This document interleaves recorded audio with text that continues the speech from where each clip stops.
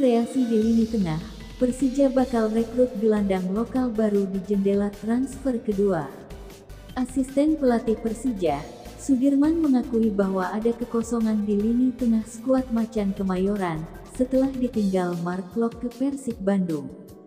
Hal tersebut membuat Persija keteteran di awal musim BRI Liga 1 musim 2021.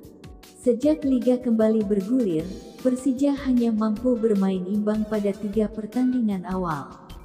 Melihat kondisi tersebut, Sudirman mengaku bahwa manajemen bakal membawa pemain tengah baru untuk Persija pada bursa transfer putaran kedua.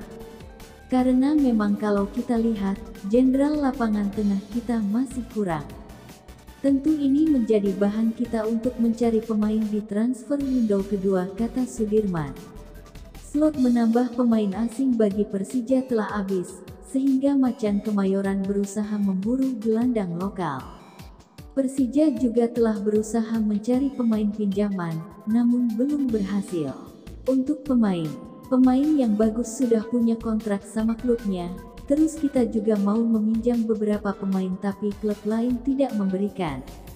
Seperti yang diketahui Persija akan pulangkan gelandang lokal Evan Dimas untuk segera gabung di jendela putaran kedua kata Sudirman dilansir dari Tribun Jakarta.